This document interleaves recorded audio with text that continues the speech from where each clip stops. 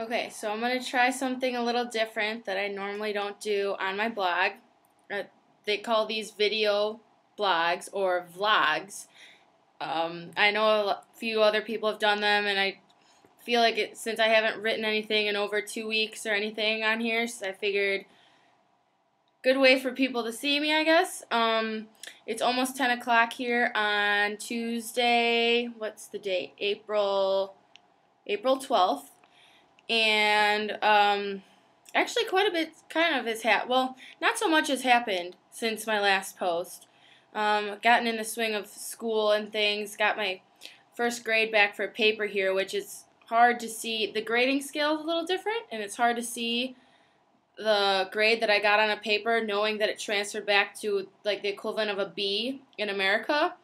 So that was kind of like a shocker, I guess. So did my first round of assignments kind of thing. Classes are going pretty well. I'm taking grades for two of my classes, doing a pass fail kind of credit, no credit for another two. So those are going pretty good. Um, still been going to the beach maybe once or twice a week. Um, let's see, and a lot of other things have happened in preparation for the next few weeks. Um, when you're in Perth, there's like one of the things to do is you go to somewhere called Rottnest Island, which is about um, a half an hour ferry ride off the coast. Um, it's a little bit farther up north and obviously to the west because it's in the Indian Ocean.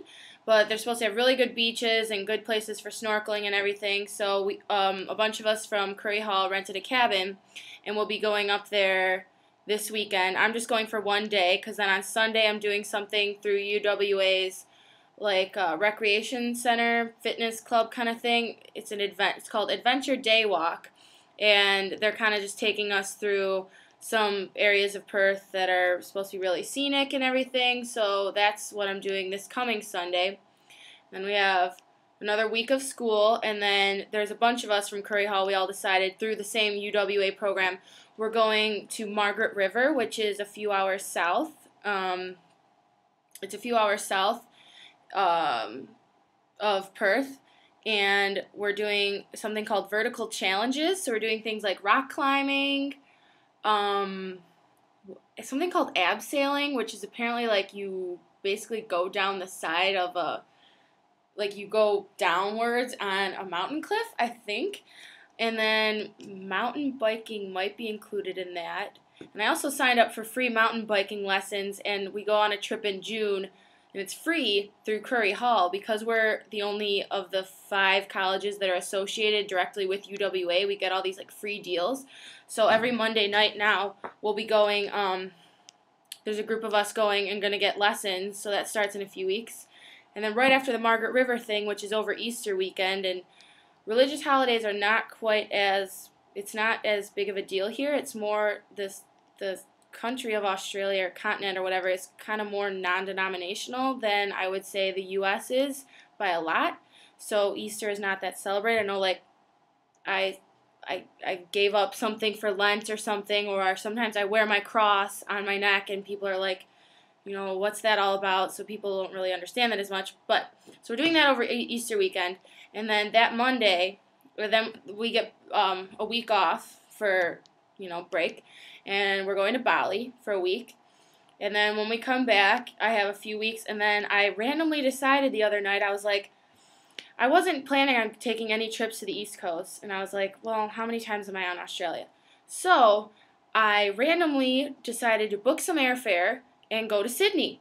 So I'll be doing that from Wednesday, May 11th until Sunday, May 15th by myself. So I booked my airfare. I'm skipping class on a Thursday and a Friday, but I'm only skipping like three lectures, so it's really not that big of a deal because they put the lectures online here, which is kind of nice.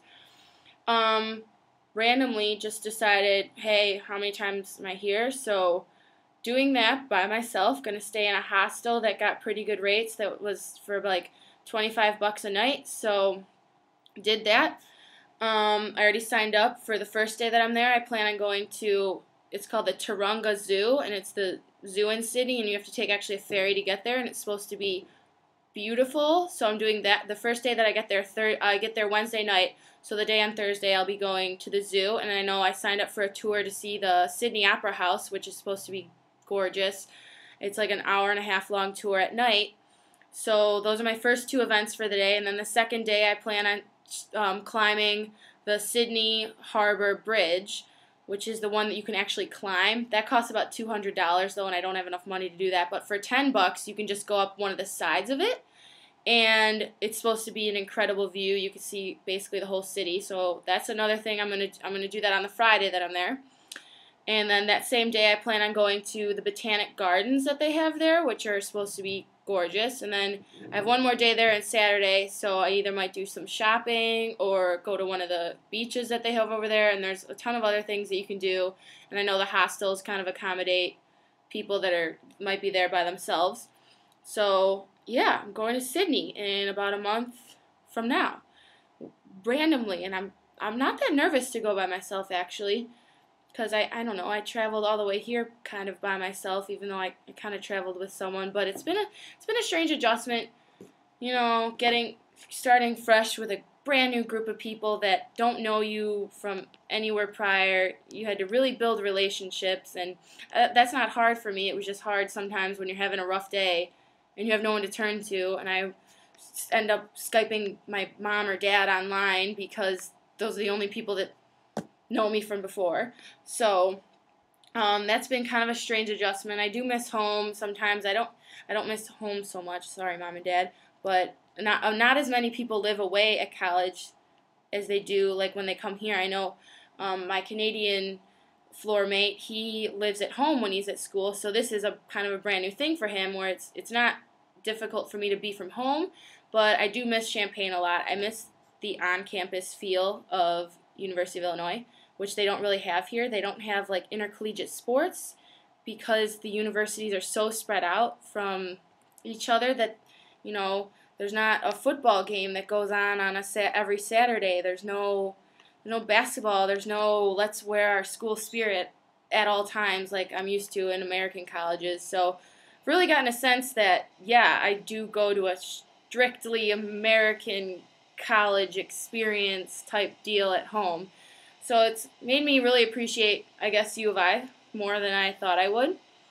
So it's still getting adjusting. Um, I'm going to be here for another two months. So, and it rained for the first time ever here the other day. I know this video is getting really long, but I got caught. It hadn't rained for about almost two months. It was going on two months of no rain, and everything was still green. I don't know how things stay green, but it had finally cooled off a little bit. And on my way to class the one time, it just this was like last week, downpoured. And I got soaking wet to class. I didn't really even care. I was running to class. I had to take off my flip flops just to run to class. But and it's since then it's cooled off and it's been drizzling a few times here and there. So kind of a drastic weather change, even though they everyone here thinks it's cold, but you know, coming from Chicago, this is nothing. But so that's currently the weather. Talked about my trips. Um, so I think I'm going to leave it at that and just post this here with maybe a few pictures.